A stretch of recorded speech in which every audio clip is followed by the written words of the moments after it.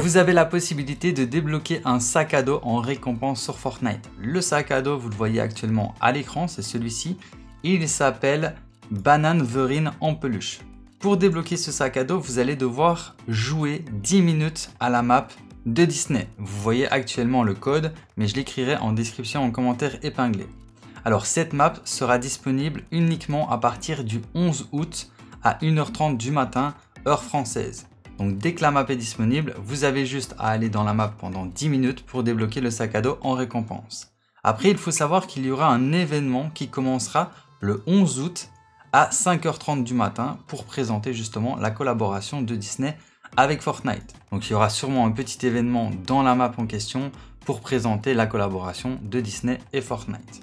Alors pour tous ceux qui n'auront pas la possibilité de participer à l'événement à 5h30 du matin, ce n'est pas grave parce que l'événement sera rediffusé en boucle jusqu'au 16 août.